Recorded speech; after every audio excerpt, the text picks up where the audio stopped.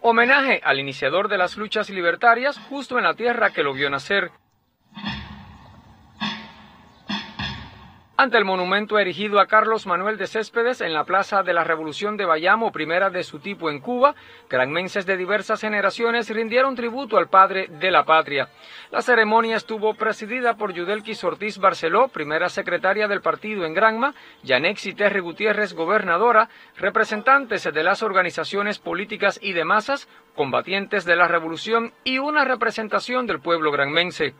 Guillermo Calixto González, Premio Nacional de Pedagogía, reconoció las cualidades revolucionarias del patricio Bayamés, quien ofreció su vida por la emancipación de un principio inalienable a la dignidad humana, la libertad de los cubanos. El destacado pedagogo transmitió además una felicitación a los padres contemporáneos, seguidores del pensamiento cespediano en la formación de los pinos nuevos.